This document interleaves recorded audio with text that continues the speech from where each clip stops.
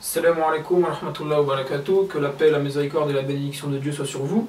C'est de nouveau le collectif Hanifia. Nous sommes avec vous pour vous traiter d'un nouveau sujet ensemble. Je suis avec mon Hanifré Abdallah, salam alaikum. Wa alaikum salam. Donc euh, aujourd'hui, on aimerait parler du, du monothéisme et surtout de la question de savoir si les juifs, les chrétiens et les musulmans adorent et prient le même Dieu. Parce qu'on sait que ces trois religions-là se revendiquent du monothéisme, sont présentées comme étant monothéistes. Et donc on aimerait que tu nous en dises un peu plus et que tu nous montres si oui ou non ces trois groupements religieux adorent et prient le même Dieu. Assalamu alaikum, que la paix de Dieu soit sur vous. Donc euh, avant toute chose, nous nous devons de définir chaque terme de manière précise, de manière même irréprochable, afin que euh, chaque chaudron puisse trouver son couvercle, vu l'importance du thème traité aujourd'hui.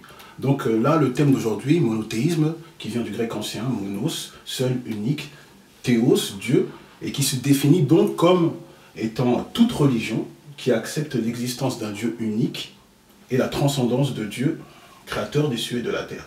À ne pas confondre avec le monolatrisme, qui vient aussi du grec ancien, monos, seul, unique, latréa, qui veut dire vénération, et qui est une euh, forme, un cas particulier d'énothéisme. Qu'est-ce que l'énothéisme L'énothéisme, c'est une forme de croyance où l'on reconnaît plusieurs dieux, mais dans laquelle l'un d'entre eux jouerait un rôle prédominant sur les autres.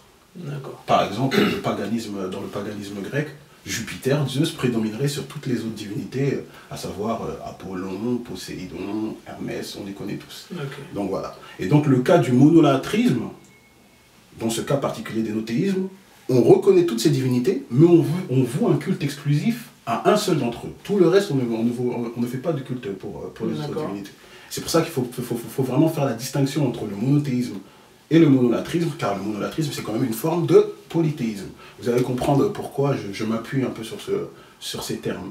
Mais pour entrer dans le vif du sujet de mon, de mon intervention, mon intervention sera axée principalement sur un verset coranique au chapitre 29, verset 46, où Dieu nous dit Et ne parlez que de la meilleure façon avec les gens du livre, c'est-à-dire chrétiens et juifs, sauf ceux d'entre eux qui sont injustes.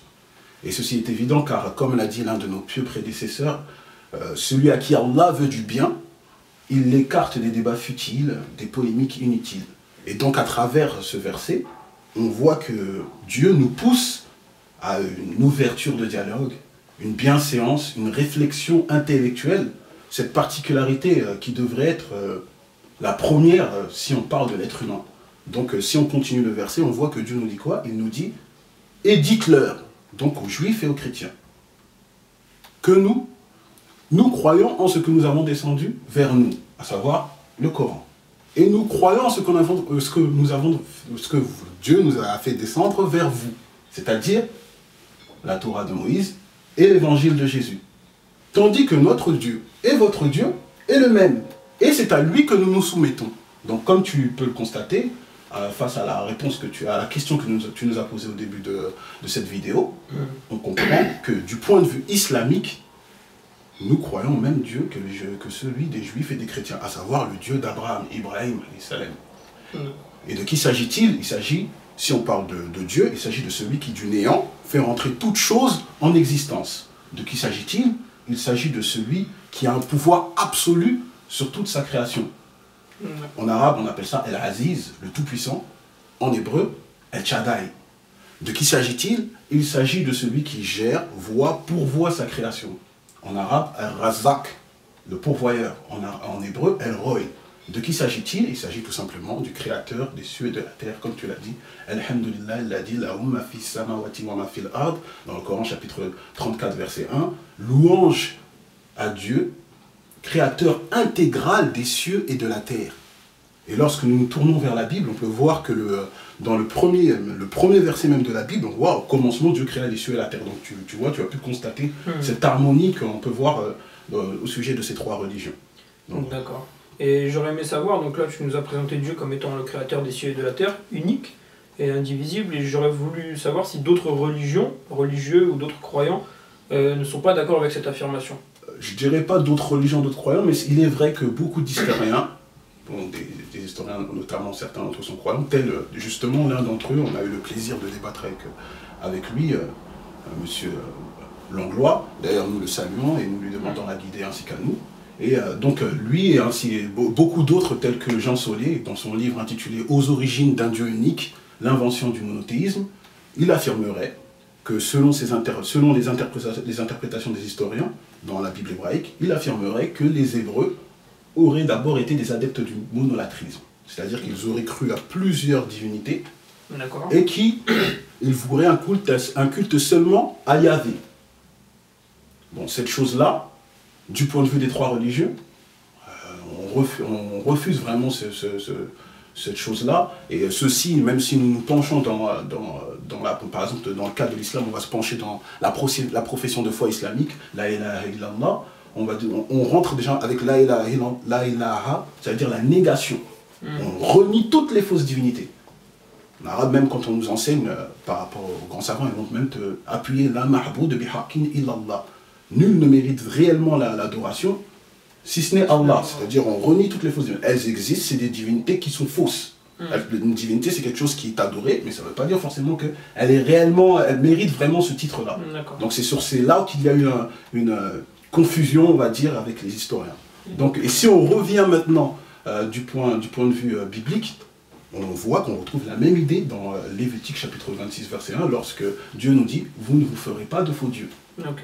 Donc ajouter à cela même, on pourrait, euh, pour, euh, pour nourrir un petit peu euh, notre public, euh, ajouter la célèbre phrase de Moïse, que la paix de Dieu soit sur lui, lorsqu'il dit dans Deutéronome chapitre 6 verset 4, la célèbre phrase des euh, enfants d'Israël, Shema Israël, Adonai Eloheinu, Adonai Echad.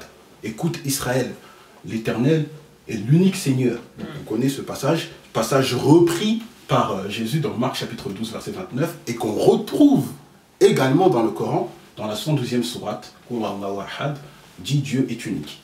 D'accord. Donc si, si je bien ton, ton propos, le judaïsme autant que l'islam professe euh, l'unicité de Dieu et la négation de toute autre forme de divinité en dehors d'Allah, donc de Dieu. Euh, l'islam par la profession de foi, la ilaha illallah, et le judaïsme par le verset du Deutéronome, euh, chapitre 6 que tu as cité.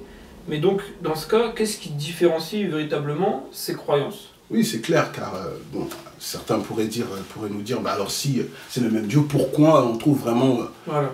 Euh, d'autres euh, différentes religions, différentes courants religieux Nul ne peut ignorer que euh, on trouve des différences dogmatiques dans les trois grandes religions. Et euh, comme l'a dit Saint-Exupéry, lorsqu'on diffère de moi, loin de me léser, on m'enrichit. Et c'est pour cela justement que le, le collectif Hanifia se veut promouvoir euh, l'entreconnaissance euh, tel un salarié à plein temps, si je puis dire. Donc, donc voilà, c'est pour cela que euh, si on rentre vraiment dans la différence, la différence, on va dire, ce n'est pas sur le fait de dire que Dieu est unique. La différence serait plutôt dans la conception divine.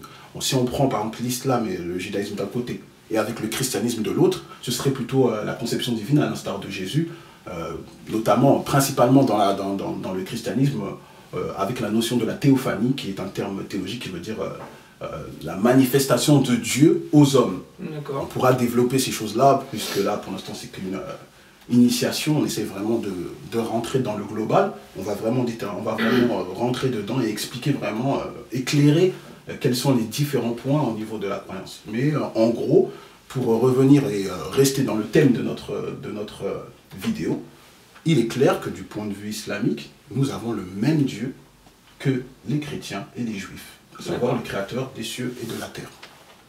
Ok, ben écoute, je pense que le sujet a été traité d'une manière assez claire. Donc comme on l'a bien, comme on a bien pu le comprendre, le Dieu est unique et il l'est aussi bien pour les juifs, pour les chrétiens que pour les musulmans. Euh, tous avons la même profession de foi, mais la différence arrive dans la manière de pratiquer cette profession de foi, de la percevoir et de la comprendre. Abdallah, nous te remercions. Je te remercie aussi, euh, Nicolas qui est, le, qui est devenu le, le journaliste officiel du collectif Hanifia. Donc euh, nous souhaitons euh, vous revoir hein, et euh, que les vues soient, soient, beaucoup plus euh, élevées. Assalamu alaikum, que la paix de Dieu soit sur vous. Salam.